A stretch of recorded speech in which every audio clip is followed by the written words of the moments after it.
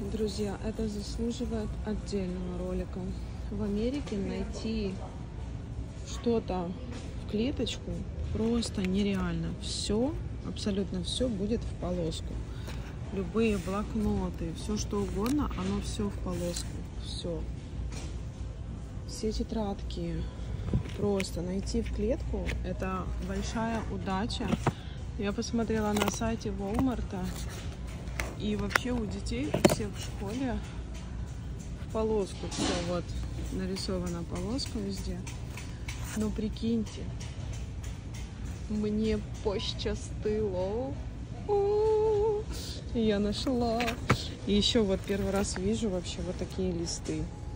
Просто тут все у них в вот в такую полоску. Просто все. Математику, они все делают дети в школе. Просто все они решают. У них листья в полоску.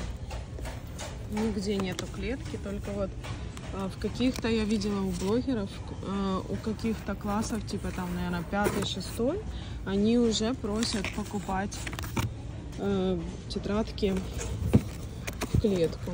Прикиньте. Я вот только раз, только первый раз нашла клетку. Все остальное абсолютно все в полоску. Вот это только одна единственная тетрадка. Не знаю, почему у них это не популярно. Ой, так что такое дело. Просто тысячи блокнотов, десятки всякого чего всего. Но в клетку только один вариант.